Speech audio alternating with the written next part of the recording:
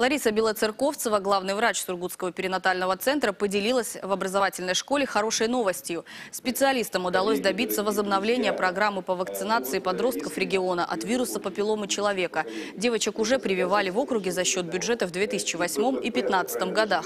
Согласно данным медиков, ни у одной, которой поставили вакцину от ВПЧ, нет сегодня ни самого вируса, ни сопутствующих заболеваний. Между тем, этот диагноз может провоцировать у женщины рак шейки матки, так что прививку необходимо расценивать как самый эффективный метод профилактики онкологии. Программу несколько лет назад приостановили, поставить вакцину можно было только в платных клиниках. И вот теперь препарат закупят за счет бюджетных средств. Лариса Белоцерковцева отметила, что возобновить свою работу программа с этого года, причем прививать необходимо не только девочек, но и мальчиков. Прививать детей нужно обязательно. И это не только рак шейки матки, это отсроченный да, эффект, но это различные другие заболевания ВПЧ ассоциированные. Это дисплазии шейки матки, это кандиломы, которые в ко- конечном итоге э, женщине мешают осуществить репродуктивную функцию.